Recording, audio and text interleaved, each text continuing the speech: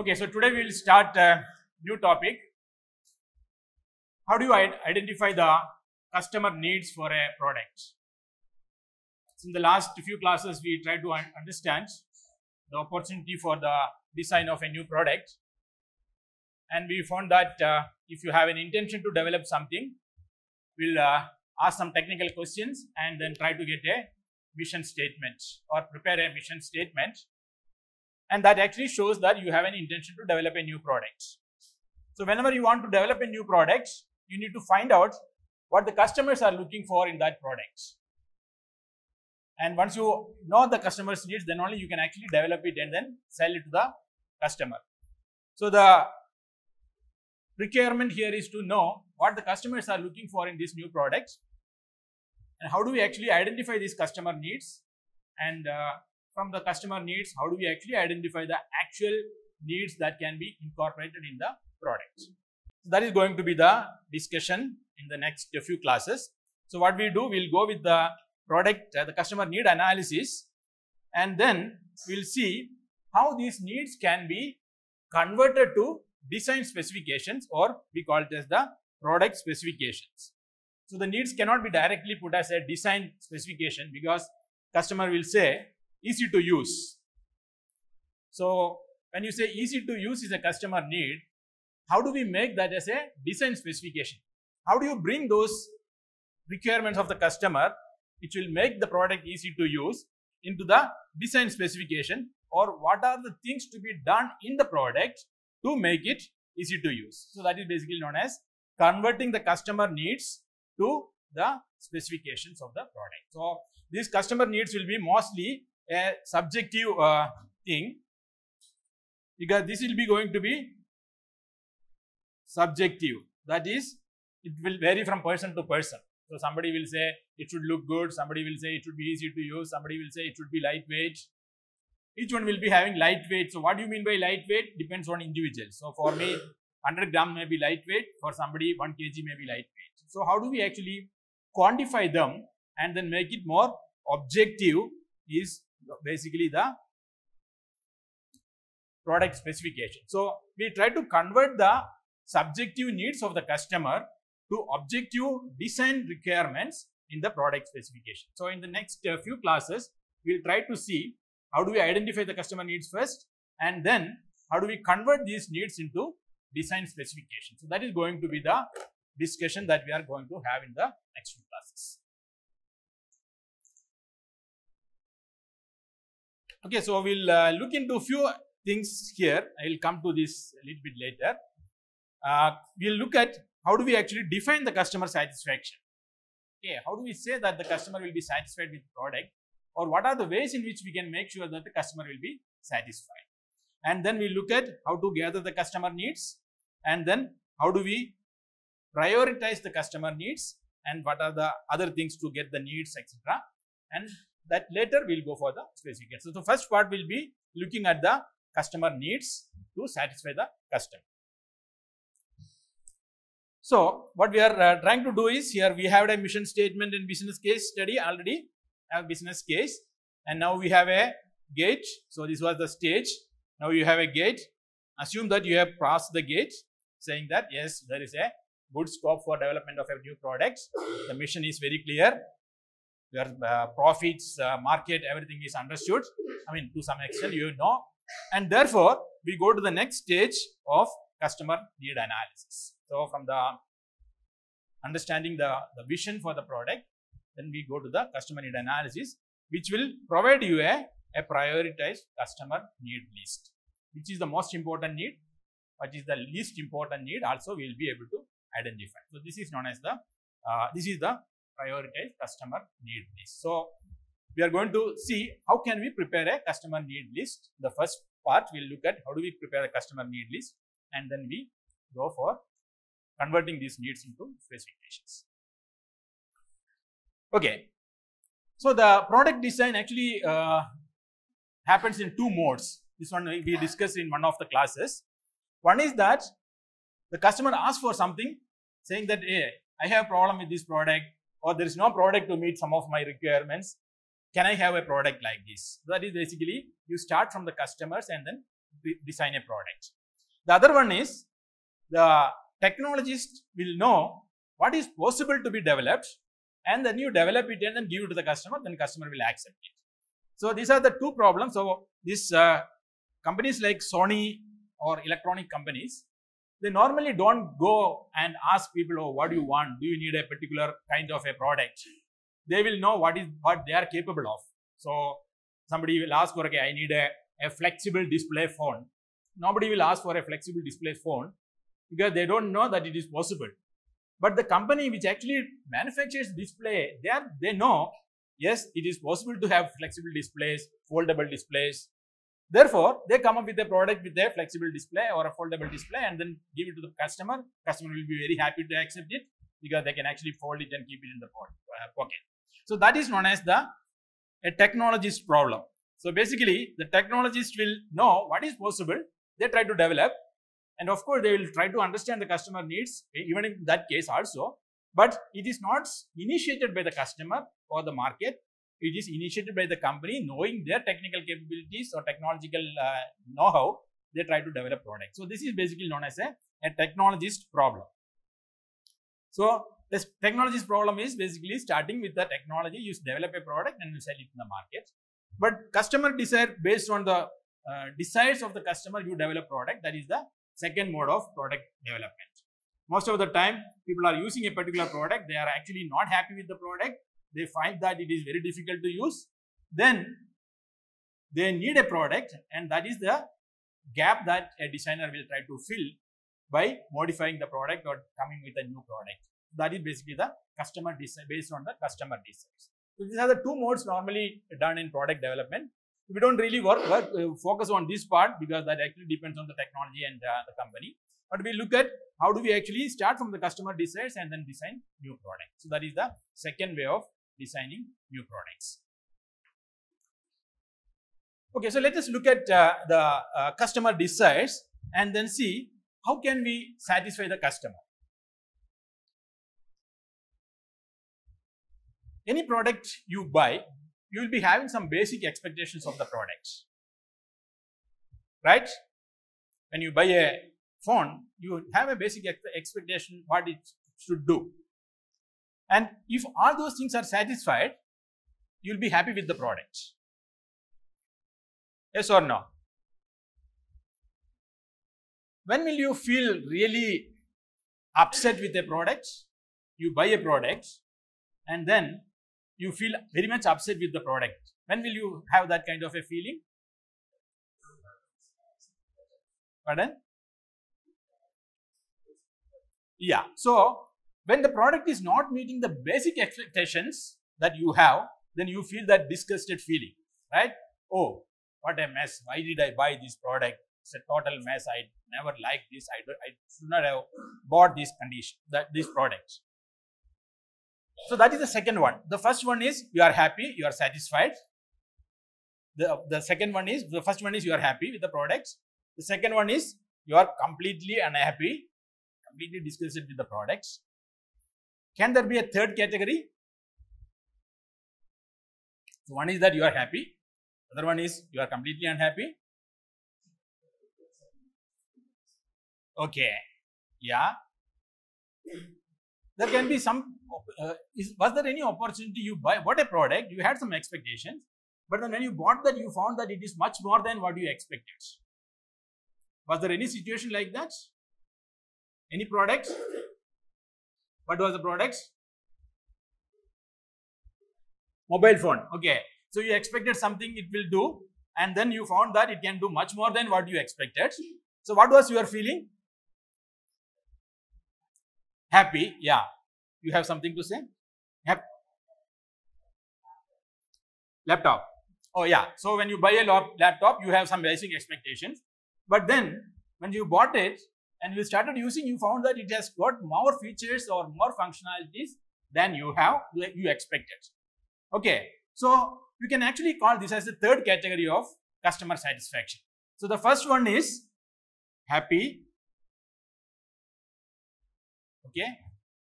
Second one is disgust or completely unhappy. Then the third one is you can say delighted. Okay. So, any product will be having these three, I mean, you can have these three kinds of satisfaction in a product. That is, the product you buy meets the basic expectation that you have. That is this curve. Okay. So, you expected this many features and it is fully implemented, you are happy. You expected more, it is there, you are happy. If it is not there, you are unhappy. So, it is known as the expected performance curve of a normal product. That is, the customers are expecting this many features, you provide those features in a good way, then customers will be happy with the product. That is known as the expected performance curve.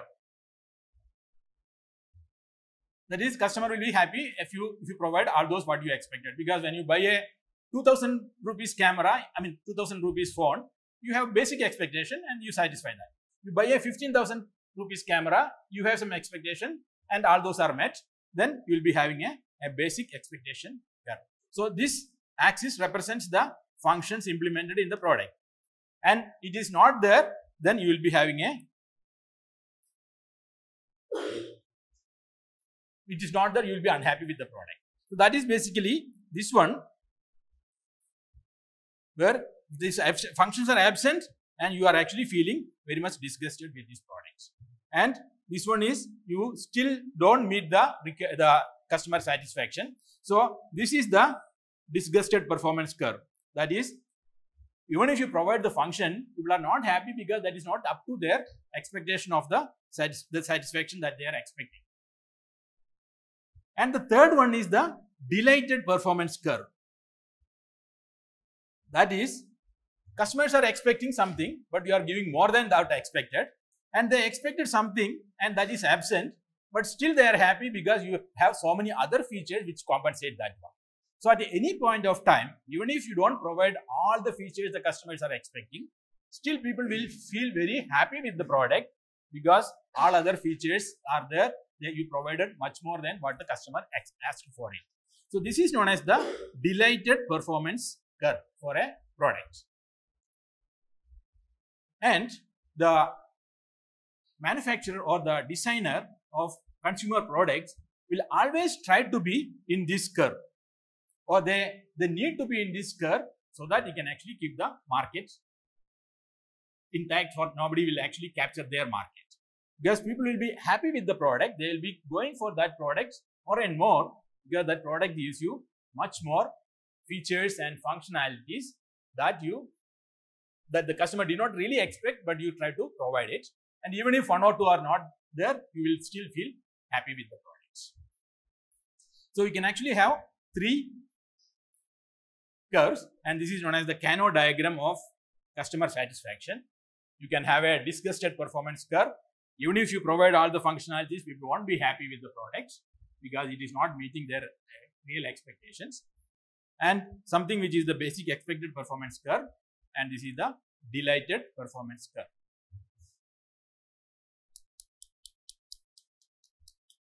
So, if you design a product, what will be your uh, goal? What which curve you would want to be there?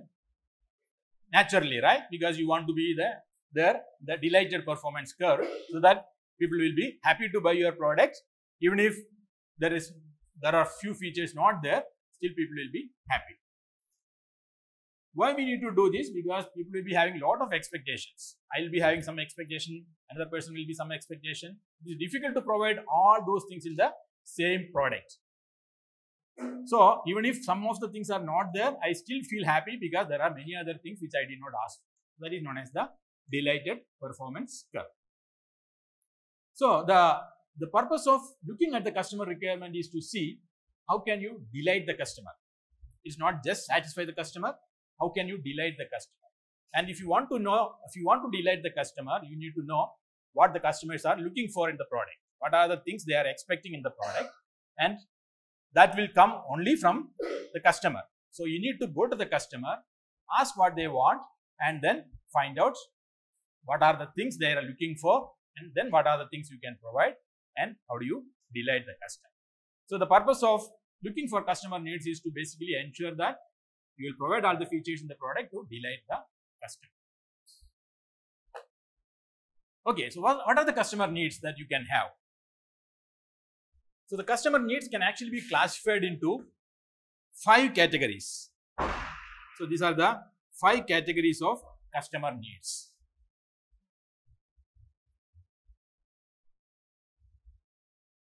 Okay, the first one known as the direct needs of a customer. Direct needs of a customer, if you ask the customer, he will tell, yes, I need a 12 megapixel camera, I should be able to play video in my uh, phone, I should be able to send messages, I should be able to connect to internet, Wi-Fi, all those things they will be able to tell very clearly. So such needs are known as direct needs of the customer, which are which are very easy to identify. Just just ask them, they will tell you what are the needs. Probably they may not tell you in the way design designers need the information, but they are very clear about what they need. This is known as the direct need of a customer.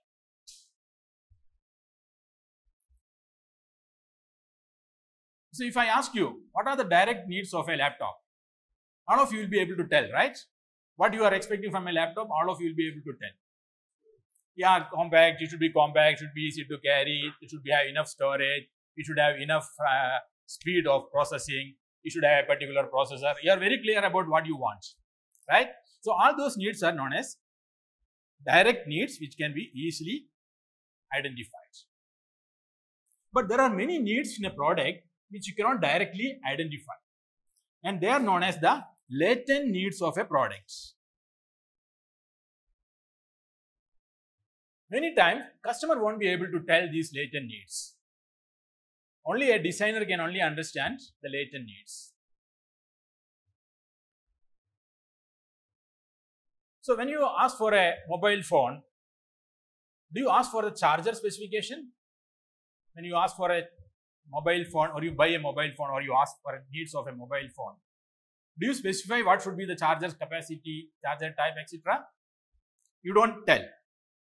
You don't tell, right? Because you expect that will be already there. You don't need to specify. But then, if you buy a camera, uh, sorry, a mobile phone in India, and you might buy it in a, in a European country, what will be the difference? Charger will be different, right? Because we use 230 volts, 50 hertz uh, power supply, and our charger should be supposed to meet those that requirement. But when you buy this in Europe, they have a different uh, voltage level, different uh, frequency, and a different uh, plug configuration also. The socket configuration also different. So all those things a customer won't be able to tell. The customer is not worried about those things. So he expect that it should be there. So this kind of needs are known as latent needs, which says that the needs to satisfy the system in which the product operates. It's only this uh, charger is only one example, but there may be many other examples about temperature, humidity, uh, condition, temperature variations, humidity, uh, rain, and all those things are there, which will be not known to the customer or the customer won't be able to identify it as a need, but a designer need to know what is the need for that particular product in a particular operating environment. So that, that such needs are known as latent needs of a product. Got it? What is latent needs? Yeah. So latent need won't be able to directly tell. The customer won't be able to directly tell it. A designer needs to identify it from other sources. Then other needs are basically known as constant needs. Constant needs are something which will be always there. Anytime you take any product you take, there will be something which is constant. For example, if you uh, talk about a mobile phone, 10 years ago, people say good picture quality. Now also people will say a good picture quality. But that good has changed because it's continuously changing. So it will be constantly there. People will be always looking for a particular thing in a particular uh, product. So such needs are known as constant needs. So old cameras where you had the films, so there we used to have 36 film roll, 36 roll with 36 film. You will be always asking for, okay, I want more picture uh, rolls, more uh, pictures in that one. And even if you provide 64, they will say, oh, I need more. That kind of a thing. Now your speed of a computer, your RAM, you will say, oh, I need 8, 8, 16 GB RAM. You will say, oh no, if you provide 16, then I need more 32 GB RAM. So this will keep on increasing, keep on changing, and keep on always be there. Such needs are known as constant needs of a product. Anytime it will be always there, will be constant, it won't change in the uh, future also. And some other needs are known as variable needs. that actually changes with the product. So some cases it may be there and the product changes that need may completely vanish. For example, if you had something like a CD drive in all the lap, all the computers, your laptop had a CD drive, desktop had CD drive, but nowadays nobody asks for a CD drive. Right? Most of them will go be happy with a USB drive. So these are the needs which changes with the changing technology. So you need to know in when you develop a product, you need to know which need is going to be changing in the near future. And then accordingly, you have to provide a feature so that your product can be updated at a later stage. So such needs are known as variable needs of a product. And the last one is known as the niche needs. Niche needs are very specific to specific products, not applicable to all the products. When you have a particular product to be operated in a particular environment, then only that need comes, otherwise there is no need for that kind of a feature. For example, somebody is manufacturing refrigerators. So normal refrigerators, we know all will be having a specific requirement, specific needs like no operating temperature should be from uh, 0 to 25 degree or something like that. But there may be a, a chemical lab or a research lab, they say, no, my refrigerator should work from minus 50 degree to 20 degree. So that is very specific to that particular product or a particular application. Such needs are known as niche needs of a product. And this is applicable to power steering, uh, ABS, etc. Because when you apply power steering for a particular type of vehicle, there may be a particular requirement. Uh, similarly, a, a ABS, anti-lock braking system, you try to apply in a commercial uh, vehicle compared to a light, light vehicle or a heavy vehicle, you will see that there are some differences which is very specific to that particular vehicle. Suppose you have a, a 12 wheel vehicle which very long, long vehicle or a very unsized vehicle, its ABS may be different from the normal ABS and very specific to that particular vehicle you can identify some needs. So such needs are known as niche needs of a product.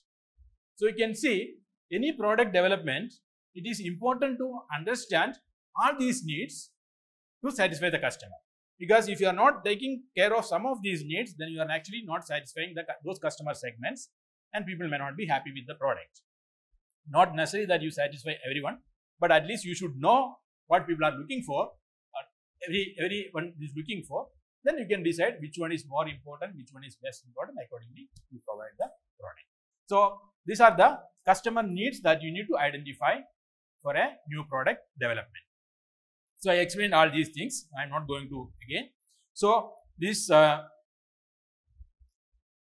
so the first category considers the observability.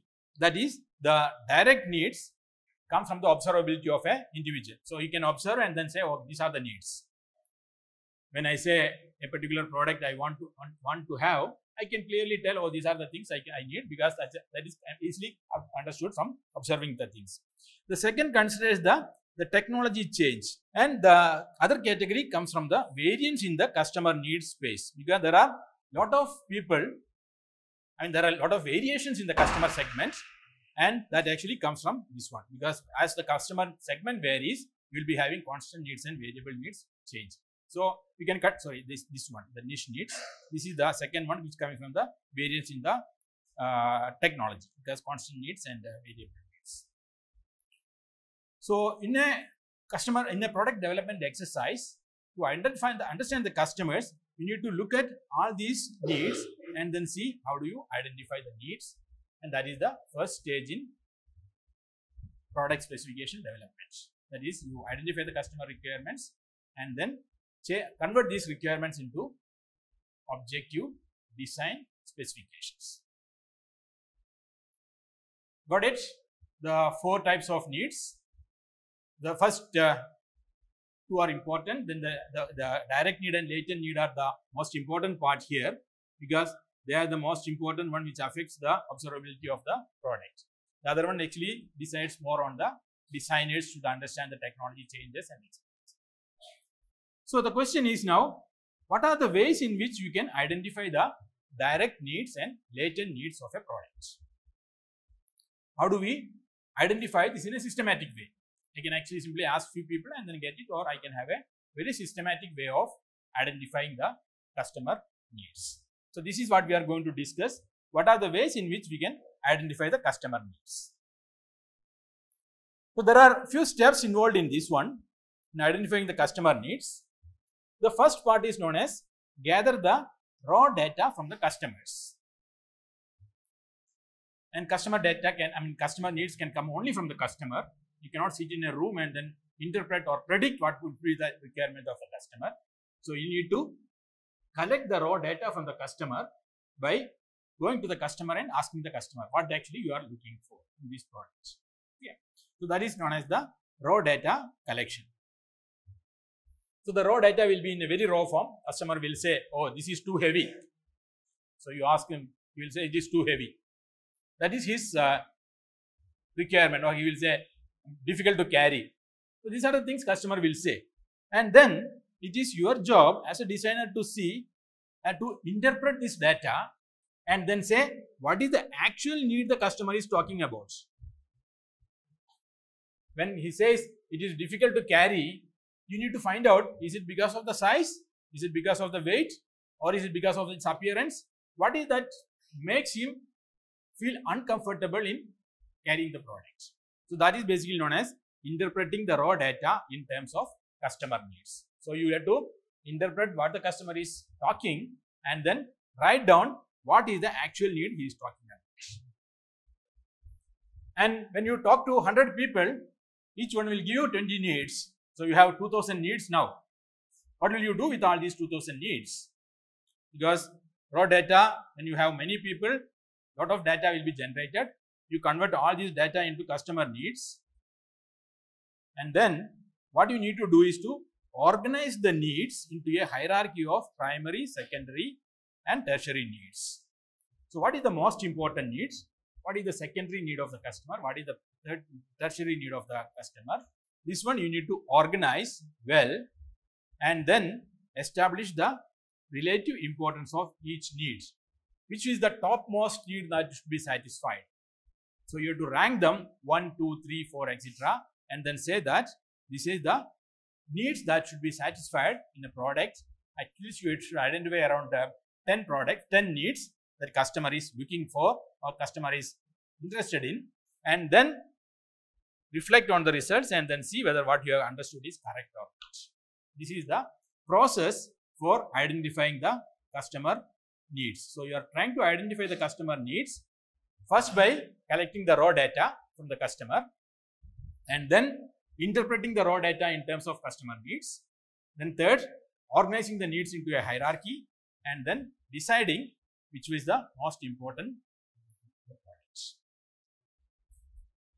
And this is what you need to do as a designer in order to design a new product, in order to develop a new product. Any questions? You're able to follow? Yes or no? Okay. Please uh, stop me in case you have any questions or you feel that okay, something needs more explanation. Alright, so let us move to the uh, method by which we do the collection. Okay, so as I told you, gathering the customer needs, the first one is basically getting the raw data. So, raw data can be collected by either through interviews, you go and interview the customers and that is known as the, the first method of collecting the customer data from customers. The, the requirements of the customer can be obtained from interviews or you can prepare a questionnaire, send it to many customers, ask them to answer this and then give it to you. That is the second one known as the questionnaires. The third one is known as the focus groups.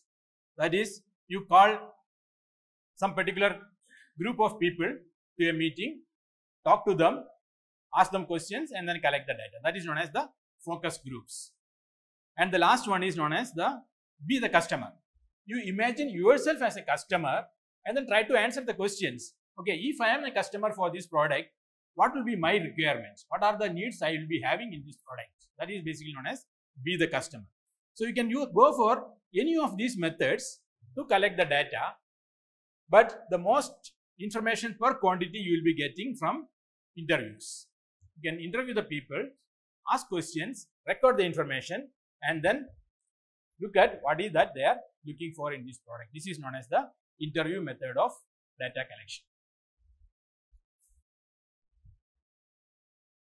So we'll be seeing, looking at okay, how do we do this interview method of data collection. We will not be looking at the other methods because this is the most efficient way of doing it. Let me skip this.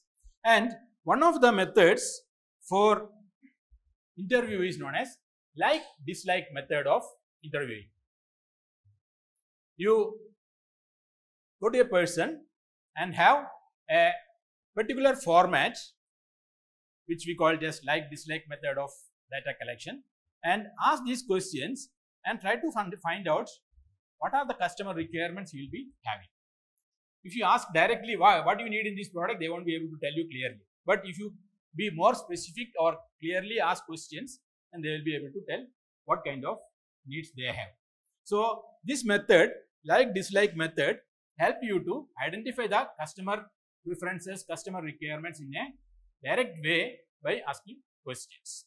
So, we will see how to do this method of like dislike method. Okay, let me skip this. So, this method is uh, a simple one. So, what you will be having? You will be having a, a paper with few questions in the this one. Okay.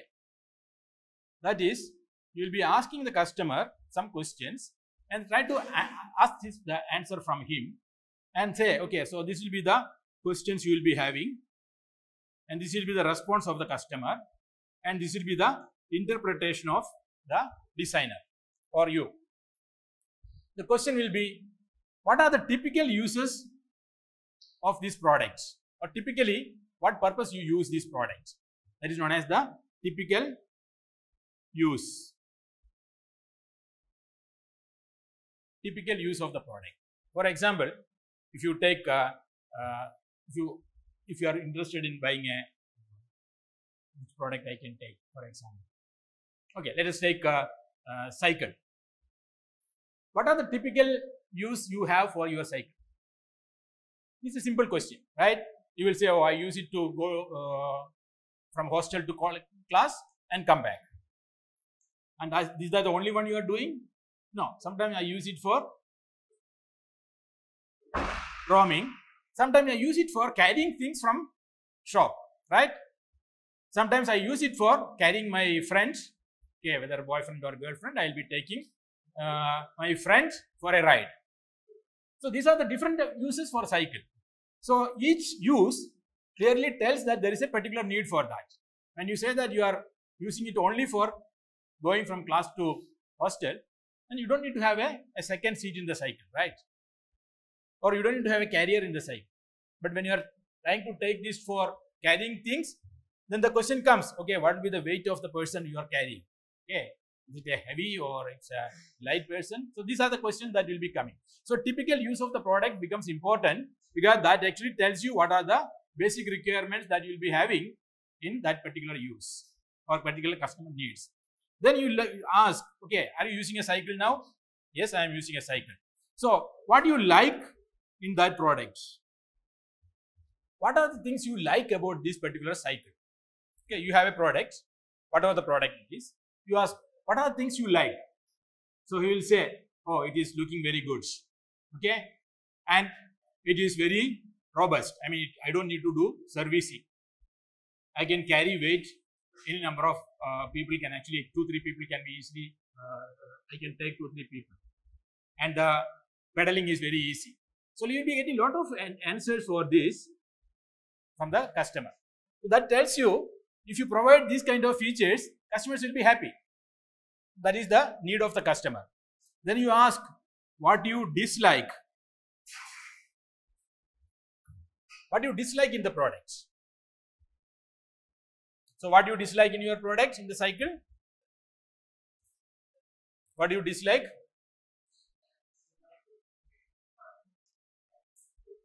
okay sometimes the chain comes out right and you have to put continuous efforts and you have to clean it oil it frequently so these are the dislikes he will be telling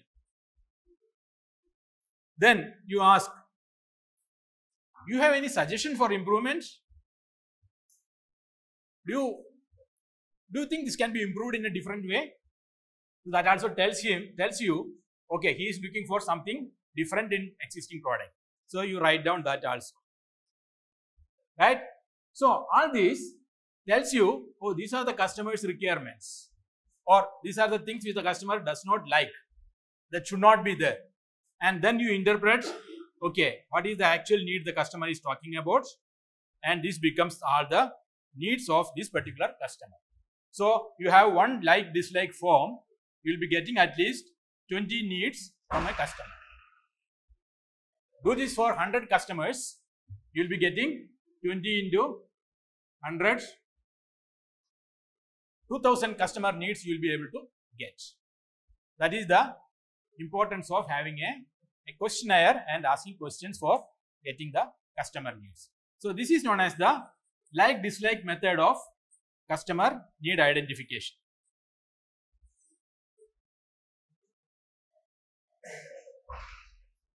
Okay, so this is the format. Question, typical use, customer statement, likes, dislikes, suggested improvement.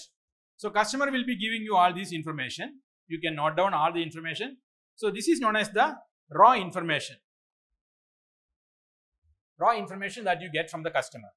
And then you interpret the needs, what the customer is asking for. And then you can give the importance, what is, whether it is really needed or what the customer says, it's an optional one or it's really needed. So this kind of information you will get from the customer. Okay, so this is known as the like dislike method of data collection from customers.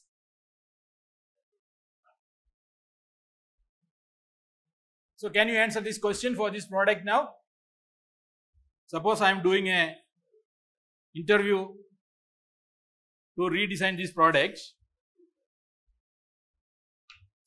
We can actually identify all the customer requirements by asking these questions. What do you like in these products? Okay, typical use you will be having, okay, cutting nails or polishing nail. What are the likes you will be having for these products? Size, okay, small. Then, lightweight, okay, lightweight.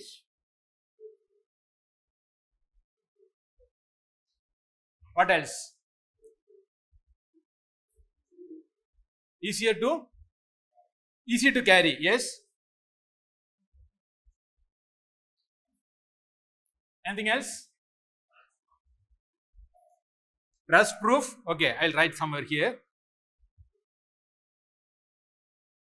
Rust proof. Pardon? Strong. Okay, it is very strong. So it is durable.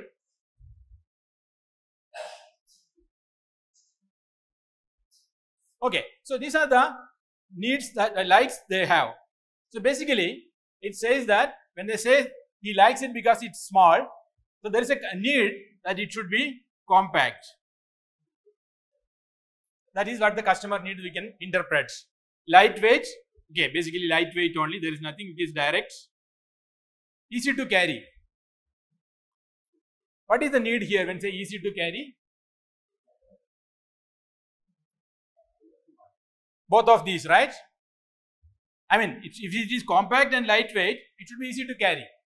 So you don't need to have a separate need for this because it says if it is compact and lightweight, it will be easy to carry. Similarly, dislikes. What are the dislikes you have for these products? We already talked about it. Okay. Oh, okay. So the uh, uh, straight uh, blade, right? Straight blade is a problem. There is no uh, stowage. Okay. Nail flying. Nail will fly away. Getting blunt. Okay. Sorry. Getting blunt. Okay, so these are the things which you can say, these are the dislikes. Now, you interpret this. When you say, straight blades. So basically, people are saying that the blade should have the shape of the nail or the nail, the, the blade what is provided should have a capability to adapt to the nail shape. That is what you can actually ad adapt. So it's an adaptable geometry or shape, I can say. And nail flying away. Probably they are telling that there should be a mechanism to capture nail and blunt. So probably a way to sharpen once it is blunt. So these are the customer's requirement. Okay, my handwriting is not that good, but I am just explaining to you. So these are the needs that you can interpret from these. And then you can have many needs here. Similarly, suggested improvement, they will tell something and they will tell something here and then you interpret here as the needs. So this way, you will be able to get lot of needs identified like dislike method of customer interview. And like this, you will be having many customers. So each customer will be giving you needs. Some of them may be same, overlapping needs will be there. But you need to collect it at least from 50, 60 people depending on the product. And all these needs will form the basis for sorting the need and finding out the actual needs of the customer. So this is basically the like dislike method of data collection. Okay. So I have an exercise for you. Pardon? Oh yeah, importance right again. Once you have this, you can write which one is most important. Okay, very important, less important, like that you can write down, and later on you can convert that into one, two, three, etc. So here we should say no, optional, should be there, must be there, etc. etc. So what I will do, I will take an example in the next class and then tell you how to actually do this uh, exercise and find out the customer uh, like dislike for an electric frying pan. Okay, meanwhile you can do a like dislike methods. So what do you like in this class? What do you like in this FCD, functional conceptual design or teaching? What do you dislike? What are your suggestions for improvements? Okay. So whoever gives the best uh, Okay, so if you are interested on, it's not a compulsory assignment.